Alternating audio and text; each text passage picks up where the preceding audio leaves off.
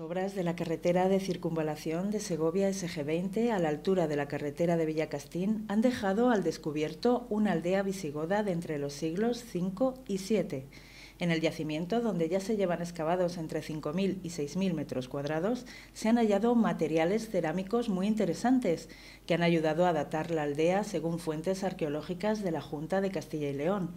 También se han encontrado el final de las cabañas, silos y edificaciones similares, en un estado de arrasamiento total, es decir, que solo queda el rebajado del suelo. En gran parte de Castilla y en Madrid se están encontrando yacimientos similares. La excavación que se está llevando a cabo es una excavación programada, ya que se conocía la existencia de este yacimiento que se lleva excavando desde los años 90, en primera fase con la construcción de la SG-20 y en segunda fase con la construcción de la vía del AVE.